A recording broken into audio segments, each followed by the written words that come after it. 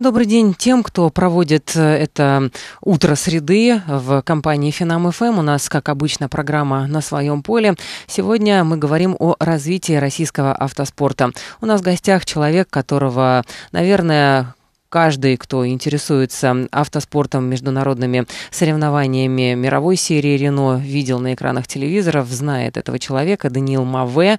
Вы, в общем, помимо всего прочего спортивного, еще и бизнесмен, у вас собственный бизнес, насколько я понимаю, тоже связанный с автоспортом. В общем, вы э, сочетаете в себе все качества современного делового человека. И занимаетесь спортом, и занимаетесь бизнесом.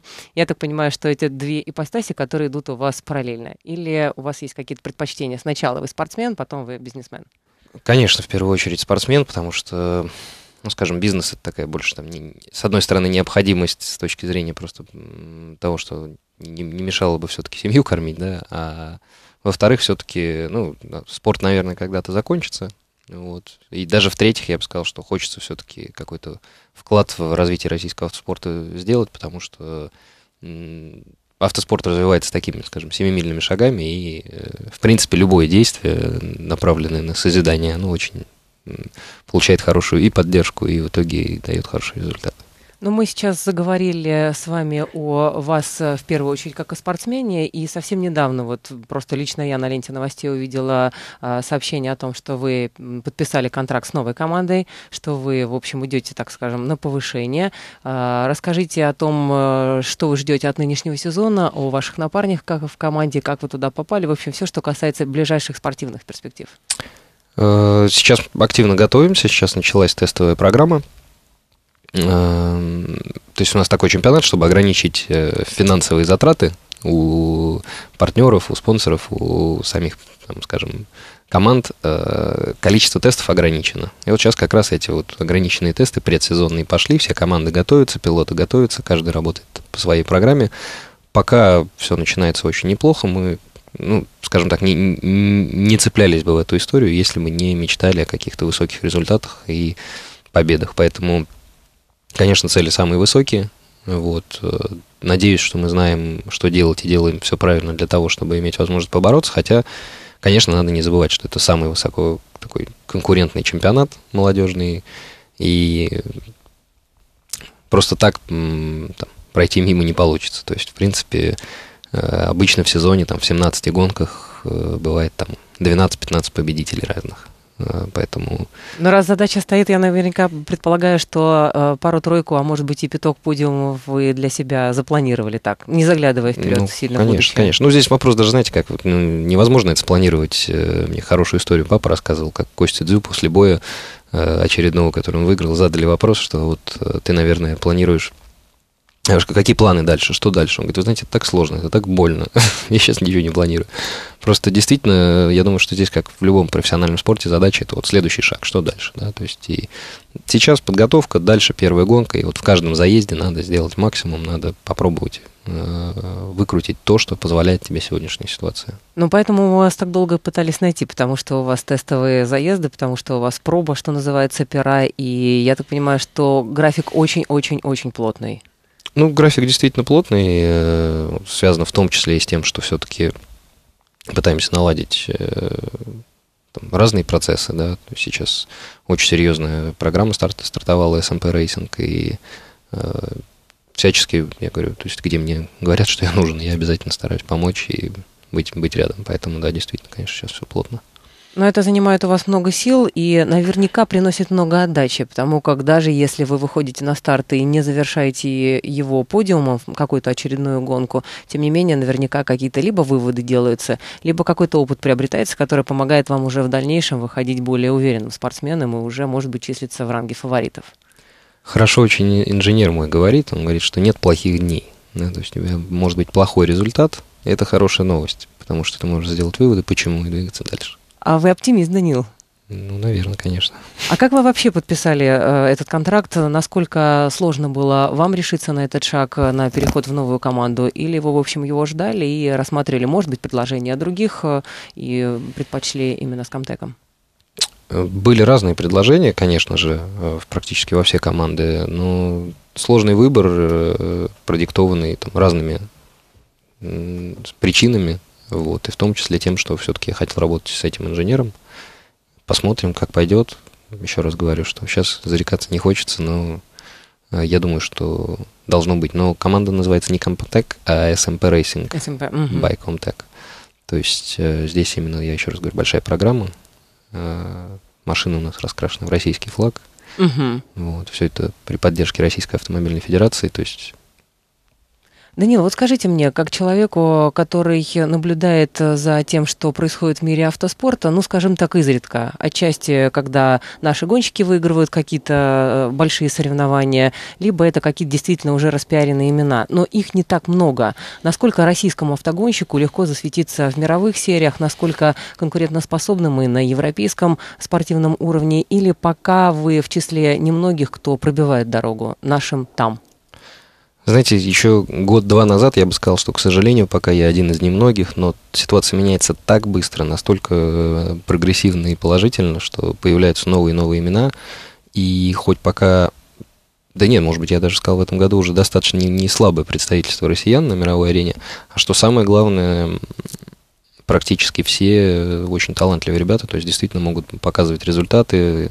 Имеются проблемы, проблемы в основном связаны с тем, что все-таки рынок новый, и дефицит менеджмента, дефицит э, опыта, да, то есть все-таки мы немножко как чужаки туда включаемся, но еще раз говорю, что все более и более грамотные шаги совершаются, все больше и больше побед, подиумов у россиян, и, конечно, это сложный спорт, требующий больших финансов и это в первую очередь, наверное. Э, да, но при этом я могу сказать, что все-таки, как, как говорится, какой русский не любит быстрой езды, видно, что все-таки есть здесь что-то в крови, и ребята реально могут претендовать на высокие места, и часто очень удивляют там местных тренеров, тренеров менеджеров. То есть люди говорят, вау, э, а этот откуда? Говоришь, а, а это его, тоже а, наш русский да, парень. Да, а его нигде не был, нет, он только начал. Говорит, ничего себе. Здорово. А вы с русскими ребятами э, конкуренты или все-таки вы подставляете друг другу плечо и в каких-то моментах помогаете? Может быть, э, какие-то технические э, обсуждаете новшества в ваших командах? Или вы только на уровне конкурентов в одной гоночной серии? Знаете, мне нравится вот вообще баланс, который в автоспорте соблюдается. Я думаю, что и в других видах спорта достаточно неплохо. Связано это с тем, что техническими, конечно, данными никто меняться не будет, никто не будет открывать ничего, и все достаточно так закрыто. Это там, настоящая война, скажем так, да, когда это касается трассы, гонок и так далее. Но при этом мы можем совершенно спокойно там совместно совместный перелет там совершить или взять машину в аренду вместе, чтобы сэкономить денег, там, я не знаю, и отлично общаемся, не знаю, отменили тесты, поехали вместе, погуляли, ну, то есть что-то такое, э, мне кажется, очень хорошая атмосфера, которая изначально, может быть, несколько лет назад создавалась не очень правильной, но как-то вот так вот мы ребятами все собрались, понимаем прекрасно, насколько это сложно, мы, я думаю, уважаем друг друга и поддерживаем, поэтому здесь Конечно, можно расстроиться за себя, но всегда порадоваться за твоего но, тем не менее, наверное, принцип о том, что на трассе друзей не бывает, и там соотече- соотечественников и земляков, но за пределами, наверное, этот принцип соблюдается, да? То есть вы... Конечно, но это все нормально понимают, то есть если только что ты где-то там очень агрессивно себя повел на трассе и там даже вытолкнул и так далее, то человек может это запомнить, запомнить положить на полочку, а найти момент, вспомнить. когда вернуть, но выйдя с трассы, будут улыбаться, обниматься, и там, ну, в зависимости от уже личных человеческих отношений, у кого, у кого кому больше приязни или неприязни. Но, как мне кажется, любому гонщику, ну, впрочем, наверное, любому спортсмену легче, когда за него переживают, болеют, болеют, когда есть какая-то поддержка извне, что называется. Но, тем не менее, не так часто и не так много на российском, в частности, телевидении уделяется внимание автоспорту и вашей гоночной серии в частности. Да, Формула-1 сейчас показывается. Что касается Рено, то, к сожалению, не, не так. Вот без этой поддержки, без этой помощи э, вам сложнее или вам хватает того рейтинга телетрансляции, трансляции тех немногочисленных сюжетов, которые появляются? Вы знаете, во-первых, я бы не назвал их немногочисленными. Все-таки достаточно много освещения сейчас идет. Это смотря с чем сравнивать. Ну да, и то есть, ну, во-первых, канал Евроспорт показывает в прямом эфире все гонки, и очень часто на канале Россия идет э, освещение и в новостях показывают. Ну, то есть как-то, а, особенно если есть результаты, тогда тем более. И такой момент, что, вы знаете, ну, в Европу ездят россияне болеть. То То, есть, есть какая-то группа фанатов, которая, как, например, футбольные болельщики, за клубом следуют по городам и, соответственно, по разным этапам ездят за вами ваши фанаты? Да, да, да, все чаще и чаще можно встретить российские флаги на трибунах, и особенно я никогда не думал, что эта поддержка настолько важна. То есть я как-то чувствуешь, да, что вот есть люди, ты знаешь, что за тебя переживают, и ну, там, ты в любом случае стараешься так, как можешь. Но в прошлом году впервые прошла гонка в России, поскольку чемпионат у нас такой ну, международный, mm-hmm. вот был, был этап в России впервые на действительно хорошей трассе, действительно прям, там было все очень ярко, 85 тысяч зрителей, в общем, все очень хорошо, и я впервые ощутил, что, что насколько действительно эта поддержка тебя вот как-то вдохновляет на какие-то новые э, возможности, да, сверх того, что, чего ты ожидал, что ты можешь. Я напоминаю о том, что у нас в гостях российский автогонщик, наш представитель в мировой серии Рено Даниил Маве. Сейчас на Финам ФМ новости. Мы вернемся к нашему интересному разговору буквально через 2-3 минуты. Оставайтесь вместе с нами. На Финам ФМ а, программа «На своем поле». Мы продолжаем сегодня беседу. Даниил Маве у нас а, в гостях, российский автогонщик, человек, который представляет Россию в автомобильном спорте. И а, мы с вами заговорили о том, какой будет у вас следующий сезон, о том, что у вас новый контракт, у вас новый договор. Но, тем не менее, как мне кажется, любой спортсмен, касаемо вашего вида спорта, все-таки мечтает о Формуле-1. Мечтаете? Да, конечно, э, с этим и связано выступление в том чемпионате, в котором я еду. То есть, ну, э, не только с этим. Э, в первую очередь, конечно, меня вдохновляют те скорости, на которых мы перемещаемся, те автомобили, да, то есть это практически самые быстрые машины в мире, но есть машины побыстрее. Это Формула-1. И очень хочется попасть именно туда, соревноваться именно в Формуле-1. А Само перспективы? Собой, а перспектива, насколько это реально осязаемо? Мы все тут, в общем, дружно смотрели за то ли выступлением, то ли мучением и страданием, особенно в последнем сезоне Виталия Петрова. Теперь вот его не будет. Я бы так не назвал. Знаете, со всего мира 20 человек выступает э, в самом высокотехнологичном спорте, да, и говорить, что это мучение или страдание, человек э, работал, очень профессионально работал, показывал хорошие результаты. Да, там машина в этом году, в прошлом смысле году, ему позволяла меньше, чем в позапрошлом. Но здесь, опять же, здесь у каждого свои цели. Просто мы привыкли, что а, вот первый и все, да, а он там, ну, они стали, например, первыми среди новых команд, да, то есть, ну, там, свой, свой какой-то, свои цели, свои зачеты, хотя, конечно, опять же, я думаю, что у него так же, как там у меня сейчас у человека, который будет выступать в мировой серии, в перспективе мне хочется попасть в Формулу-1, потому что это более быстрые машины. Когда он ехал в Формуле-1 не на самой быстрой машине, конечно, ему, наверное, хотелось выступать в более сильной команде, бороться за более высокие места. Здесь действительно такой вопрос сложный, но Виталик очень достойно представлял страну, и здесь а когда будут перспективы, что мы за вас будем болеть? Вы, я понимаю, хотите. Есть реальные шансы. Наверное, сезон два. Сколько вы себя отводите на то, чтобы туда попасть? Шансы действительно есть, они реальные. Моя задача сейчас показывать результат. И да.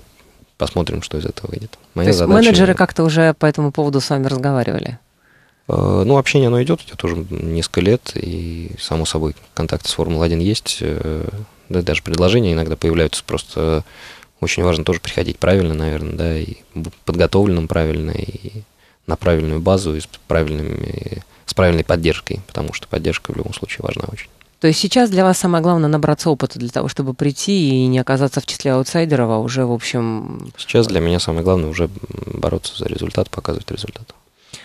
Я так понимаю, что э, поговорив о перспективах, нельзя не упомянуть о том, с чего все начиналось. Я так думаю, что, скорее всего, это был карт.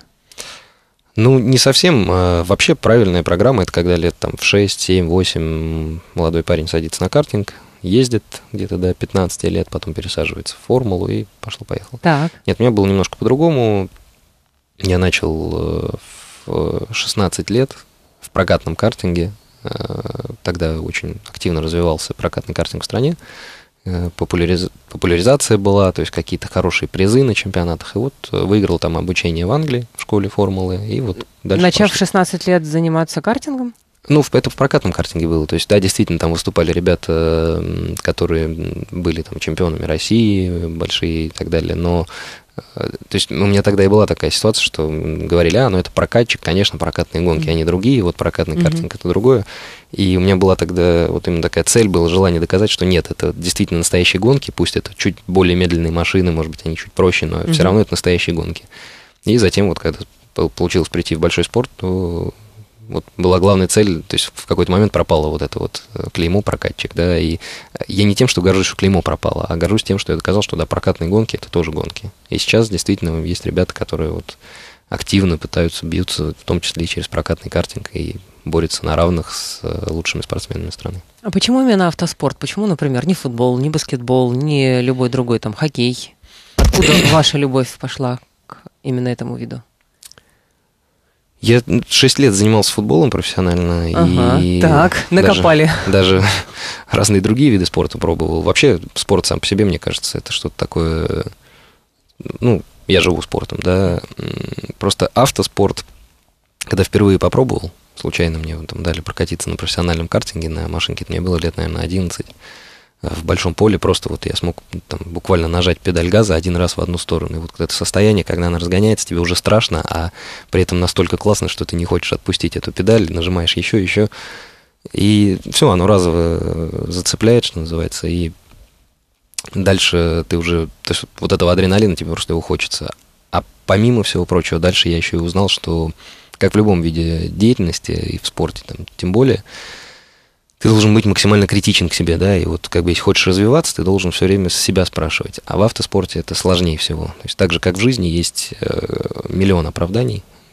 Нету денег, э, плохая машина, плохая резина, э, инженер плохой, не знаю, не повезло, все что угодно, да, то есть если в других видах спорта ты все-таки можешь чуть меньше оправдываться, то здесь вот у тебя прям совсем сложная ситуация. Здесь ты еще зависишь от многих других факторов, и финансы, и политика, и все-все-все-все. И ну, мне очень интересно, любопытно. Наверное, это было самый сложно достижимый, э, самой сложно достижимой целью на тот момент. То есть вы привыкли ставить себе высокие цели, их добиваться и получать от процесса достижения Привык, удовольствие? Привык, наверное, неправильное слово, но просто вот, вот захотелось так, не знаю.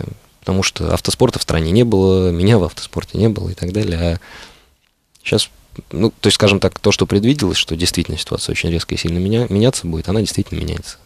Но на самом деле, вот э, вы заложники, ребята, которые выступают в автоспорте, заложники действительно э, работы инженеров, работы э, по подготовке машины, по тому, как оно укомплектовано, укомплектовано, какие технические новшества, инновации появляются. Ведь вы не можете рассчитывать только на себя. Вышел футболист, и в зависимости от того, как он подготовился, как он провел там ночь накануне, где он был, что он делал, пил ли он что-то или нет, от этого зависит его выступление. У вас так нельзя. Если у вас вас не готова машина, то это не может не служить оправданием, она действительно не готова. А, я бы сказал все-таки, что и как раз пример с футболом вы тоже привели вот хорошая параллель, что и в футболе нету такого, что ты выйдешь, и вот ты сам настроился и все сделаешь. Ты можешь действительно сотворить, наверное, на поле какие-то чудеса, но если э, ты соревнуешься на самом верху, да, на самыми высокими профессионалами, то ты один против 11 соперников ничего не сделаешь. Э, здесь командная игра совершенно, да, и очень важно, чтобы была именно команда. Даже ты можешь быть каждый, вот мы не раз видели ситуации, когда собирают лучших игроков вместе, mm-hmm. да, но они не играют. Это командная игра. Также и здесь с инженером, то есть ты можешь прийти к лучшему инженеру и быть лучшим пилотом, но оно может не работать. Оно дало, это именно командная игра, именно э, хороший пример это Михаил Шумахер. Его особенность заключается не в том, что он самый невероятно быстрый гонщик, что тоже факт, он один из самых да, талантливых и быстрых пилотов, но э, столько раз выиграть он смог именно благодаря тому, что собрал правильных людей вокруг, правильную ситуацию, его там любили за него, боролись, да, он там, когда ребята работали в середине дня, он срывался быстренько, там, привозил пиццу, то есть, ну, э, какие-то такие, да, вещи, которые дают в итоге результаты. Бывает действительно, что не самый талантливый инженер и не самый талантливый пилот выигрывают гонки именно потому, что усердно вместе командно работают. Вы можете похвалиться тем, что у вас есть хорошая команда, и те, кто стоит рядом с вами, перед вами, за спиной, э, рядом с плечом, они за вами в огонь и воду и сделают все для того, чтобы ваша команда в итоге привела вас к победе? В, сравнении с Формулой-1 здесь, наверное, немножечко сложнее, потому что у нас там выступающих вот в чемпионате, в молодежном, скажем, времени не, не очень на это есть. То есть, когда ты приходишь в Формулу-1, ты можешь сколачивать, команды могут быть планы, сезоны и так далее. Здесь все-таки требуется сразу результат, поэтому, конечно, самая идеальная ситуация – это попасть а, все пилоты, выступающие в этом чемпионате, это э, ребята, победители чего-либо, и это те, те ребята, которые могут выиграть чемпионат. А, практически все команды могут выиграть чемпионат. Поэтому здесь вот очень важно, чтобы э, сыграла вот эта ситуация, когда пилоты, инженеры друг с другом просто вот совпали, да. А сейчас просто рано зарекаться, я не хочу каких-то делать прогнозов, э, предпочитаю просто посмотреть на результаты и как будет. Думаю, что у нас потенциально есть все для того, чтобы бороться за высокие места. Если отвлеченно посмотреть на себя со стороны, вот э, вы видите выступающего на трассе э, в каком-то, я не знаю, на любом этапе Данила Маве. Какие основные сильные черты вы про него могли бы сказать? Вот отметить, да, сильные стороны? Сложно как-то говорить про себя. Ну, интересно просто, вы же наверняка себя оцениваете. Вы знаете, что вот это я делаю хорошо, а вот это, к сожалению, у меня еще не очень получается, я должен это отрабатывать. Вот за счет чего, скажем так, не заглядывая опять-таки вперед и сильно в будущее, вы могли бы попретендовать на титул фаворита? Я бы сказал так, наверное, учитывая, что и с российскими ребятами мы боремся в чемпионате, о сильных, слабых сторонах говорить, наверное, было бы не очень правильно. У каждого свои секреты. Но я считаю, что по-настоящему сильный гонщик это тот, кто в первую очередь э, максимально самокритичен. А, это тот, кто максимально оперативно выполняет то, что надо, да, агрессивен а, и мотивирован, очень высоко мотивирован. И технически грамотен. Я думаю, что вот это по-настоящему сильный пилот. У вас есть такое понятие, как э, тренер, да, как наставничек, который смотрит, как вы тренируетесь, готовитесь, или вы сами себя оцениваете? Кто для вас главный критик? К сожалению, у меня не было никогда таких вот возможностей финансовых, там, привлечь тренера или менеджера и так далее. Приходилось заниматься самому, но так или иначе удавалось как-то добиться того, что, например, вот там, напарник по команде в этом году у меня, он может позволить себе тренера, и очень известный такой Роберто Пупо Морено, э, начало 90-х годов он выступал в Формуле 1, как раз на его место посадили Михаила Шумахера. Uh-huh.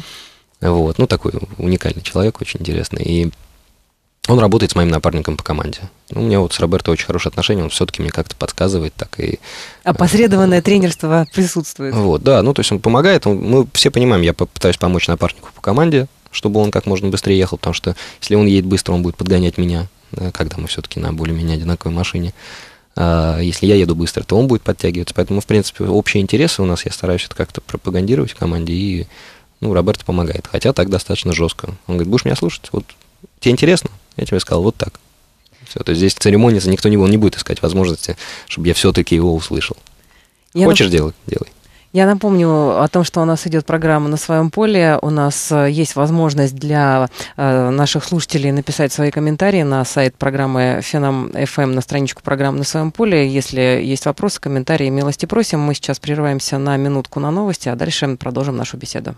Наши российские люди в мировом автоспорте. Сегодня тема программы на своем поле развития российского автоспорта. У нас в гостях Даниил Маве, э, российский автогонщик, человек, которого, наверное, каждый хотя бы раз в жизни по телевизору-то видит и надеюсь, что все-таки болеет. Даниил, мы с вами заговорили о том, что вы, конечно же, в первую очередь спортсмен, но тем не менее, насколько я знаю, вы удачно сочетаете еще и какие-то свои бизнес-планы со спортивной карьерой. Вы же владелец карт-клуба? Ну, владелец, наверное, неправильное слово. Я Э, как-то партнер, партнер, один из партнеров, да. И э, много это времени у вас занимает? Вот в каком э, ранге вы там присутствуете? Э, ну, наверное, больше как консультант, будет правильно сказать. То есть э, изначально, конечно, то есть старался участвовать активно в построении бизнеса, да, именно, скажем, опять же, ну, больше таких э, идей э, того, как это должно, вот какое направление иметь, да, глобально. Mm-hmm очень активно участвовал да, в построении, и сейчас меньше времени и возможностей в этом участвовать. У нас очень хорошая команда, ребята делают очень хорошо свою работу, и я, скажем так, участвую больше вот как консультант, что лучше задать это направление или это. Даете имя, скажем так, проекту, может быть? Ну, имя в том числе, да, какой-то там, я стараюсь привлекать э, какую-то пиар-историю, да, то есть при, привозили Джан Карло Физикеллу в прошлом году на открытие, угу. на гонку звезд у нас приезжали там, российские хорошие звезды. И, то есть, ну, вот, вот какие-то такие вещи, да, стараемся подтягивать. Там, то чемпиона мира по боксу привезем, он потренируется на картинге. Ну, что-то такое, то есть больше в этом направлении. Пиар какой-то такой, Какой-то да, пиар, да. И... Слушайте, я только сейчас поняла, ведь если по написанию по-английскому ваша фамилия, это же будет э, от глагола to move, да, там двигаться вперед? Да, да. То есть у вас на роду было предписано? Наверное, наверное. Англичане, во всяком случае, в этом уверены. Уверены. Ну, собственно, нужно теперь только оправдывать. Да. А вот еще, готовясь к программе, прочитала, что э, поиском спонсоров, э, переговорами вы занимаетесь лично сами. Как у вас это происходит? Или эта информация неправильная?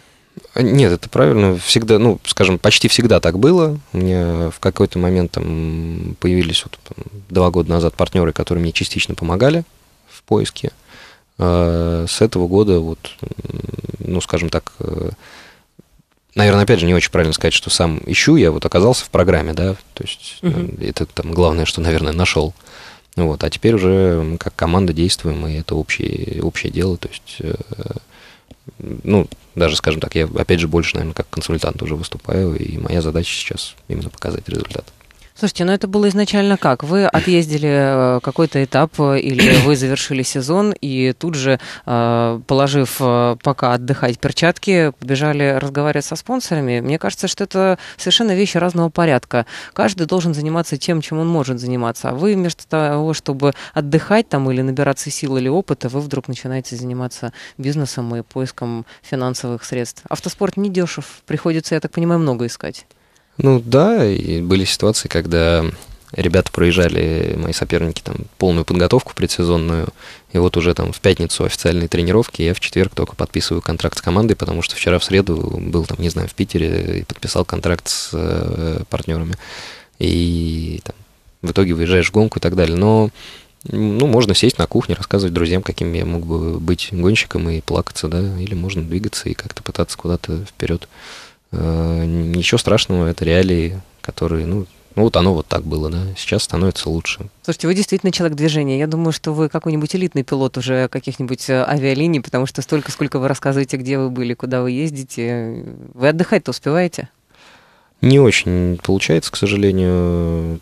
Такой вопрос, который волнует. Вообще хочется, конечно, как вот немножко побольше такого порядка в жизни, побольше времени с семьей проводить и так далее. Но или Сима теперь тоже за вами ездит? Вы э, уехали на гонку, и она за вами следом?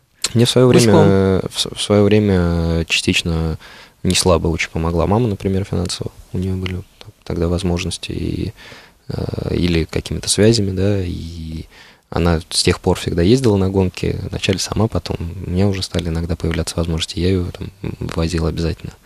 Мама приезжает, садится вышивать вышивку и Мама так расслабляется, когда сын несется по трассе с сумасшедшей скоростью. Я, я не понимаю, как она это смотрит, и никто не понимает. Говорит, самый спокойный человек. Потому что когда видишь там, ну, родители, папы, например, да, они, конечно, э, в основном, в, в основном родители просто бегают и кричат, и что что только не происходит. То есть прям...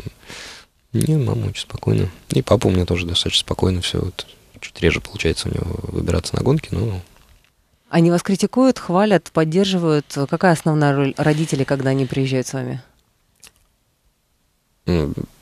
Поддерживают, критикуют. В таком порядке? Да. Слушайте, ну на самом деле я восхищена мужеством вашей мамы, потому как вот на моем, э, на моей памяти был пример.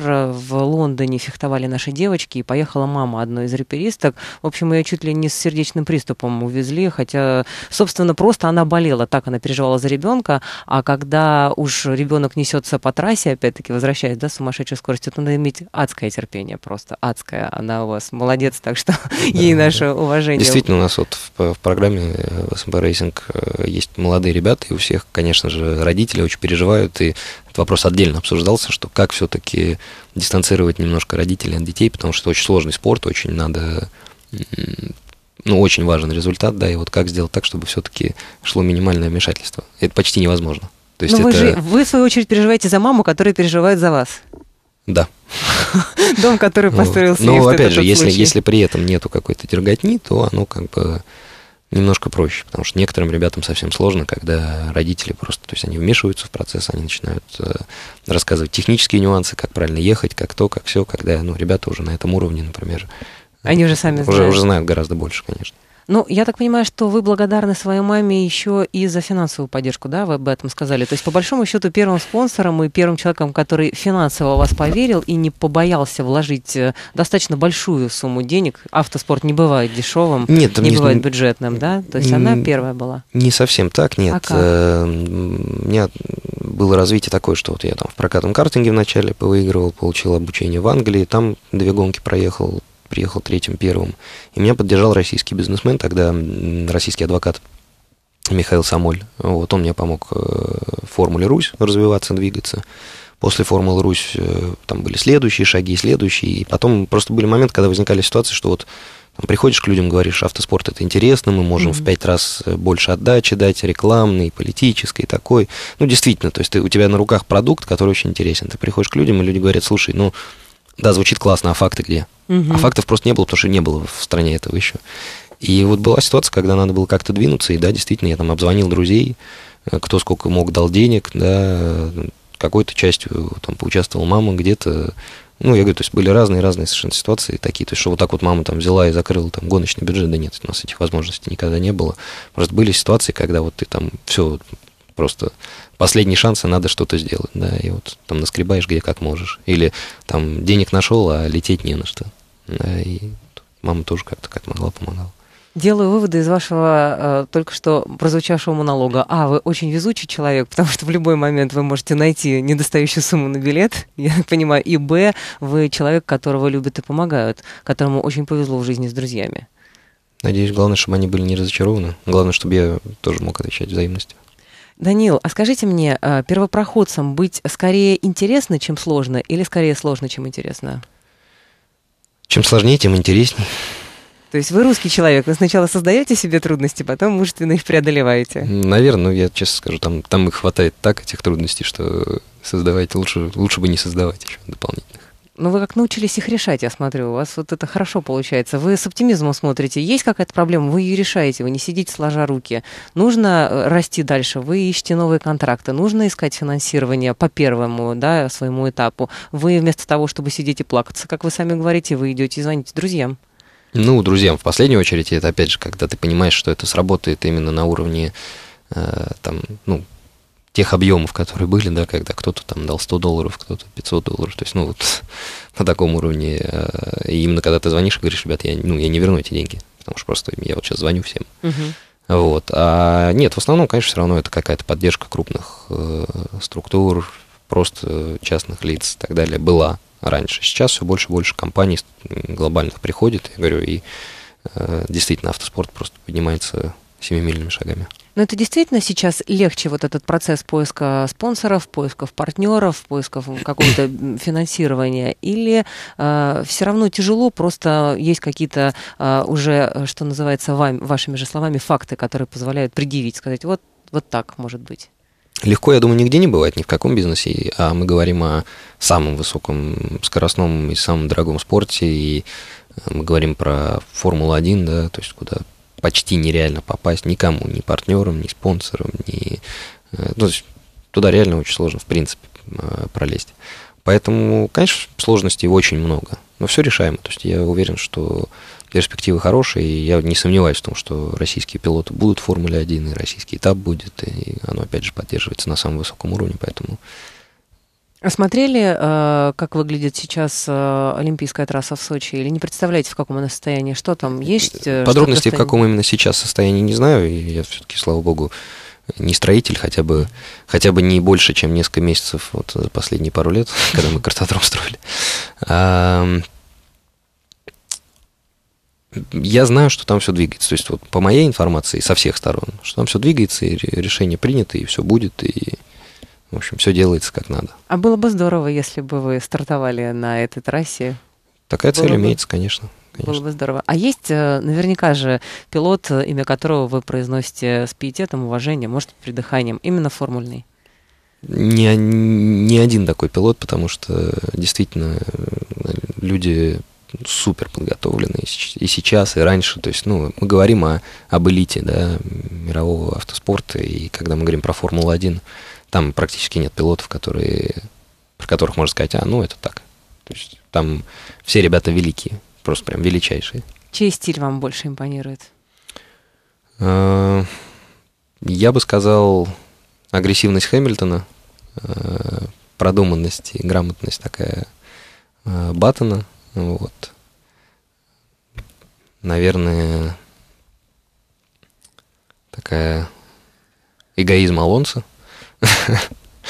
Вот. Ну, в общем, я думаю, что можно собирательный образ брать. Хотя, опять же, я говорю, в последнее время вот такие люди, как Баттон, Алонсо и Хэмилтон, и, я не знаю, Райконин, можно продолжать перечислять всех остальных пилотов, Хюлькенберг из других молодых, Диреста, они все практически готовый полностью чемпионский пакет я вот как влюбилась в свое время в Айртона Сена, не могу его разлюбить. Смотрю с удовольствием формулу, болею за кого-то. Кто-то мне нравится, кому-то хочется больше пожелать победы, но все равно э, большего, мне кажется, э, таланта, чем Сена найти сложно. Я не права?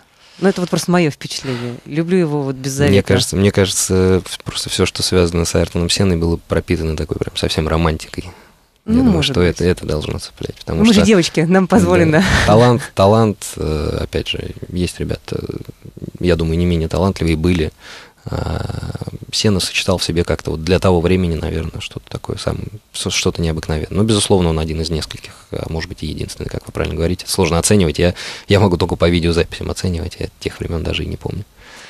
У нас в гостях Данил Маве, российский автогонщик, наш представитель мировой серии Рено. На своем поле у нас программа на Финам ФМ. Мы продолжим беседу буквально через несколько минут. У нас сейчас новости. Сегодня мы обсуждаем развитие российского автоспорта. В гостях у нас Данил Маве, человек, который уверен, что российский автоспорт когда-то загремит э, славу не менее, чем сейчас, наверное, говорят о немецком автоспорте, если говорят про Михаила Шумахера, да, я так понимаю, да, Данил?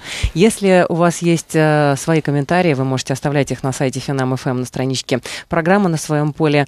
Я э, с удовольствием слушаю ваши рассуждения про Формулу-1 и слушаю ваш оптимизм по этому поводу.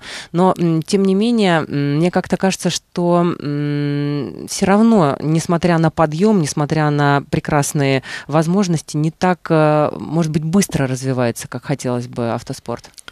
Хочется всегда большего, но действительно, знаете, вот я там разговаривал 3-5 лет назад с людьми, да, разговариваешь и говоришь, что рынок пустой, надо его занимать, и здесь перспективы, и ты рассказываешь, ну, так, как ты видишь вот со своей, наверное, там, э, там с, юношеским максимализмом, я не знаю, да, с мечтами ты говоришь, ну, стараешься быть реалистом, но, наверное, все равно как-то вот говоришь о том, какие, какие большие вещи будут происходить. И очень приятно видеть именно, вот мне приятно видеть, что спустя какое-то время оно действительно происходит именно так, ярко, именно так быстро, и развитие очень серьезное. А нет у вас какой-то профессиональной, может быть, ревности, а может быть, зависти от того, что на государственном уровне идет поддержка самых разных видов спорта, что, ну, притча во языцах, да, у нас футбол во главе угла, при этом вид спорта, где у нас есть хорошие перспективы, где есть талантливые ребята, он, в общем, не получает того должного, может быть, бюджетного финансирования, который мог бы получить и принести потом уже и отдачу. Ну, во-первых, я думаю, что талантов в нашей стране хватает во многих видах деятельности и спорта, да, поэтому я не считаю, что только автоспорт обязательно должен быть вот поддержан, а, а другие все спорты себя уже и так нормально ощущают. Я думаю, что есть не один вид деятельности, где не мешало бы и больше тоже поддержки. Но э, то, что касается автоспорта, я как раз вам сказал, что совместно с Российской автомобильной федерацией СМП Racing э, это большая такая национальная история, и она в себе объединила уже не одну команду и ни, ни одного пилота, и, ну, наверное, самых лучших российских гонщиков и менеджеров и так далее. То есть я думаю, что э, достаточно ярко в этом году все будет, и это только начало именно российской национальной такой вот истории, которая, на мой взгляд, все-таки, когда вы говорите про бюджетное финансирование, я бы не делал акцент на бюджетном финансировании, потому что бюджетные деньги это такие, да, какие-то вот больше пришедшие деньги откуда-то и угу. ушедшие чаще всего, ну, может быть, никуда. никуда, да. А я бы говорил об этом как о, бизнес, о бизнесе, да, то есть здесь нужна, нужна такая вот поддержка государственная, которая сейчас, вот я говорю, опять же, имеется, Российская автомобильная федерация и так далее. Но здесь должен участвовать бизнес, потому что это очень интересная сама по себе бизнес-структура, автоспорт, да, здесь очень большие плюсы как VIP э, под клуба, так и самой рекламы, да, то есть она самая освещаемая, самая эффективная, там много-много-много ну, mm-hmm. плюсов всяких. Я это говорю не потому, что люблю автоспорт, это такие факты, да. Сейчас вы говорите как бизнесмен. Вот, э, ну, да, у меня, у меня есть факты. Mm-hmm. Вот. Поэтому я думаю, что здесь надо как раз активно при поддержке государства и бизнеса развивать эту историю. Как оно сейчас, в принципе, и делается. Про хороших гонщиков и про хороших пилотов мы уже все с вами выяснили. Они есть, есть молодые, есть э, перспективные, но у каждого гонщика должен быть хороший менеджер, человек, который понимает суть этого бизнеса. Как вопрос обстоит с этим? Потому как, ну, опять-таки на слуху только Оксана Косаченко. Э, с этим сложно в стране, потому что действительно буквально несколько человек в стране понимают вообще, что происходит и могут этим заниматься. И там мне в том числе приходилось набивать шишки. Бывали моменты, мне казалось, что вот все, теперь я все понимаю, и натыкался на какие-то проблемы, приходят новые ребята с новыми менеджерами, и они допускают те же самые ошибки, причем ты реально даже разговариваешь там с человеком, говоришь, слушай, мне ничего тебе не надо, ни денег, ничего, послушай, вот так не делай, делай так. Все равно люди делают те же ошибки, все равно идут э, в те же проблемы, теряются большие деньги, теряются таланты, теряются э, время, в общем, в этом смысле очень обидно и сложно, но опять же, автоспорт развивается, появляются люди, которые понимают, к сожалению, как часто бывает, э, появляются люди, которые понимают в каком-то другом бизнесе, и думают, что сейчас здесь тоже очень быстро разберутся, что здесь вот там денег дал, здесь получил, то есть, ну, как бы, да, что нормальная стандартная бизнес-модель. Здесь все-таки все достаточно сложно, и, ну, как и в любом виде деятельности, я имею в виду, что просто здесь по-другому. Но вы, э, опять заглядывая далеко-далеко вперед, видите себя потом уже, по завершении карьеры, в качестве менеджера, в качестве человека, который, может быть, э, будет заниматься пиаром определенной команды? У нас же помимо гонщиков есть еще Маруся, команда, которая представлена в Формуле-1. И не, и не по завершении карьеры вижу, потому что я сейчас очень активно занимаюсь э, всей этой историей, и связанной со мной, и связанной с ребятами молодыми, которые у нас участвуют в программе. То есть, э, как мне кажется, одно другому не мешает. Единственное, что ну, там, оперативной деятельности хотелось бы немножко поменьше. Вроде получается как раз сейчас ее снизить количество. Когда вы все успеваете, Данил? Скажите мне. Мне кажется, вы спите сколько? Два часа в день? В нет, нет, я не имею права спать два часа в день, потому что на, на первом месте приоритетом стоит, стоят спортивные результаты. Хотя, конечно, бывают ситуации, когда там не успеваешь там, в спортзал, еще что-то. И ну, вот это то, чего нельзя допускать. Может быть, тоже дополнительная какая-то все равно мотивация. Ты чувствуешь, что ты что-то не доделал, начинаешь работать еще активнее. Я имею в виду с точки зрения mm-hmm. спорта. Спорт все равно в главе угла, и я не беру на себя там, каких-то историй, которые не могу просто потянуть, если понимаю, что спорт от этого пострадает. А от чего вы заряжаетесь? Откуда у вас столько энергии? Она у вас изначально от природы, от мам с папой, или вот есть какой-то способ ее восполнить? Потому как только энергичное э, продвижение вперед, мне кажется, позволяет успевать и на бизнес-поприще, и на спортивном, и на тренерском, и на поприще менеджера. У вас, в общем, ипостаси-то... Ну, во-первых, я с одной стороны чувствую, что немножко живу взаймы наперед. Я чувствую, что понадобится отдых. Но с другой стороны, если честно говорить, то... А кто сказал, что она ограничена, этой энергией? Да, ну то есть мы сами, мы сами, мне кажется, себе рамки создаем. Если можешь двигаться, двигайся, чё, в чем проблема? Вы не устали от такого образа жизни? Вам не хочется как-то определиться? Или у вас хватает и желания, и энергии, и сил для того, чтобы пробовать себя э, совершенно разных сферах и отраслях? Хватает энергии. Единственное, что, опять же, когда мы говорим про спорт, да, то ты должен на 100% отдаться именно спорту. Все то, что есть и чего нету.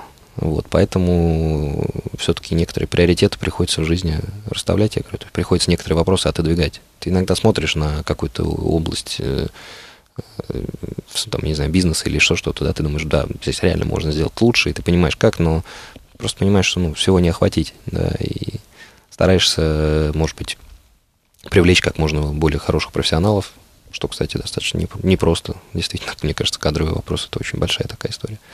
И ну, просто доверяешь им, да, наверное, что-то у людей получается, что-то не всегда, но в итоге. А когда начинается сезон, все остальные дела отходят на задний план? Вы занимаетесь только спортом, только собой, только машиной, только разговорами с инженером и с напарником? Или все равно вы попутно успеваете, как небезызвестный Гай Юлий Цезарь, всеми руками орудовать? Приходится все равно заниматься всем пока что. Но посмотрим. Я думаю, что ситуация поменяется, потому что есть приоритет. Спорт. Да. Вы начи- э, начинаете уже, я так понимаю, активную подготовку, да? У вас-то, собственно, да, до конечно, апреля остается началось, совсем конечно. немножко времени. Вы не слишком часто бываете в Москве, да? Вы все время где-то в разъездах, в перелетах? В основном, да. Часто бываю не в Москве в связи с подготовкой, в связи, может быть, с какими-то, опять же, там, переговорами бывает. Ну, Вы такой человек мира. Вас можно найти в любой точке планеты. Да нет, почему в любой. Я как раз в этом смысле в сравнении там, с другими ребятами, мне кажется, некоторые побольше перемещаются, они там спокойно... Вообще, ну, в основном ребята, с которыми я соревнуюсь, они живут просто там и перемещаются там. с одного места на другое. Как вы позволяете себе отдохнуть? Мне очень интересен этот вопрос, потому что мы все время говорим про то, как вы работаете. Отдохнуть, как любой нормальный человек, наверное. Задумался. Да, я просто задумался, когда я последний раз отдыхал. А давайте вспомним, когда это было.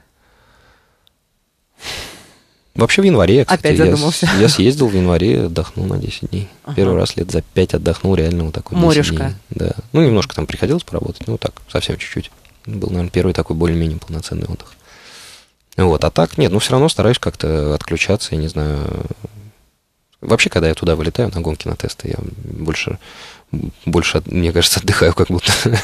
ну, я имею в виду, что когда ты занимаешься совсем любимым делом, да, и вот как-то оно все воодушевляет, и хоть это и большая физическая нагрузка, но она какая-то такая вот очень приятная. Приходишь вечером в отеле, падаешь, с утра опять встаешь, идешь Телевизор, а, какой-то там просмотр телевизионных трансляций, я... поход на футбол, на какой-нибудь ноу-камп, например, или...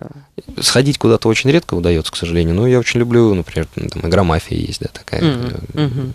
Мне очень нравится. Караоке люблю. В кино сходить куда-нибудь. То есть вполне себе живой человек с живыми интересами, а не только... Конечно, общем... не, мне кажется, в первую очередь это самое главное. Все остальное это уже такие игрушки и там какие-то амбиции, наверное. А не соревнования по автоспорту смотрите? Соревнования, в смысле, не по автоспорту, да, не по автоспорту, да, Я не знаю, баскетбол, все что угодно, плавание, вот сейчас чемпионат мира по э, биатлону, по лыжным гонкам, что-то. Люблю, люблю, я люблю вообще спорт. Мне, говорю, был такой момент, хороший пример для меня, Кубок Кремля, никогда, ну, по теннису. Uh-huh. Я ни, никогда не понимал вообще, то есть мне казалось, что теннис неинтересно. Ну, как вот. все говорят, мячик налево, мячик направо. Ну, или как про футболистов говорят, да, да 22 да. мужика бегают за мячиком. Миллиардера. Вот. Э, в итоге приехал на большой теннис, со мной рядом сидел человек, профессионал, который мне стал объяснять, что вот здесь так, там так. И как только я разобрался, ну, как-то, да, как дилетант в этом вопросе, мне стало очень интересно, я с большим удовольствием смотрю теннис. Захватило. Да, и вот так я, я понял, что, в принципе, любой вид деятельности. В лагере, я помню, я приобщал всех к Формуле-1, мне говорят, что ты смотришь, это глупость, там по кругу ездят, что-то. Начинаешь людям рассказывать, здесь нюансы, там нюансы. Хороший такой пример, мне просто сказали, слушай, ну, если столько людей этим занимается, наверное, здесь в этом что-то есть, да когда мы говорим про виды спорта, любые они очень интересны. Вы спортсмен в душе, да? Когда есть желание идти вперед, стремиться Конечно. развиваться Мне и побеждать? Есть, есть человек, который меня много лет уже поддерживал. А, я так смотрю на него большим, скажем, пиететом, уважением. Мне нравится, что он вообще очень... Он какие-нибудь переговоры проводим, встречи, и он даже не столько его интересует сам бизнес, сколько он говорит, а вы чем занимаетесь? Человек рассказывает, не знаю, там, я э, змеи развожу да, и говорит, как змея во что, как, начинает сразу интересоваться, и mm-hmm. он очень, я вижу, что он голодный именно вот так вот, вот поедает вот эту всю информацию, ему интересно, а как там происходит, а какие нюансы, то есть когда профессионал какого-то дела, да, когда что-то делается очень хорошо, то на это очень приятно смотреть, наблюдать, э, интересоваться там и так далее. Я желаю вам сил на все, что вы задумали, чтобы у вас, во-первых, удался сезон. Я не знаю, что можно желать автогонщику перед началом сезона? Какое Удачи. пожелание? Удачи. Удачи. Тогда я душе вам желаю, и я надеюсь, что мы еще не раз услышим именно про ваши победы. Спасибо, всем тоже удачи. Спасибо. У нас э, в гостях в программе «На своем поле» был э, российский автогонщик Даниил Маве. Болеем за вас э, в следующем стартующем уже в апреле сезоне. Спасибо. Всего доброго. Всего доброго. До свидания.